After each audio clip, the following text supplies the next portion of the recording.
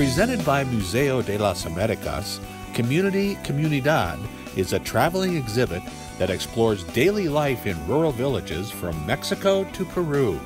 It's on display now at Montbello Library.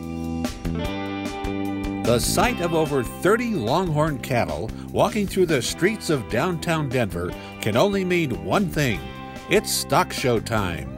Step back in time and enjoy the stock show parade beginning at Union Station. Frank Lloyd Wright, Inside the Walls, will explore the relationship between his architecture and decorative art. Wright believed in the concept of a total work of art, with the accessories and furnishings of a building complementing the architecture to create a unified whole. LGBTQ plus people have always been part of Colorado communities. Rainbows and Revolutions is about more than just pride.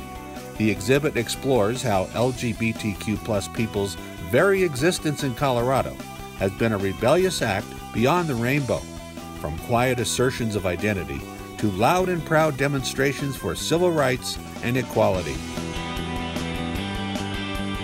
A lighthearted exhibition celebrating color, form, and concept.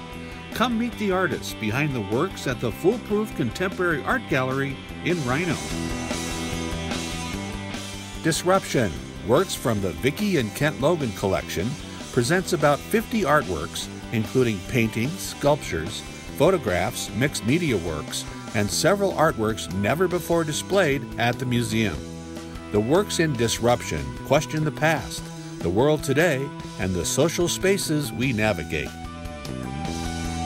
Rome comes to Denver.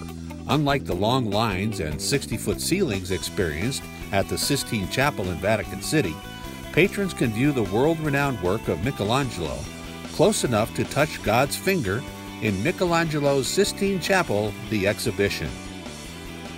And that's a quick look at what's happening in Denver this week.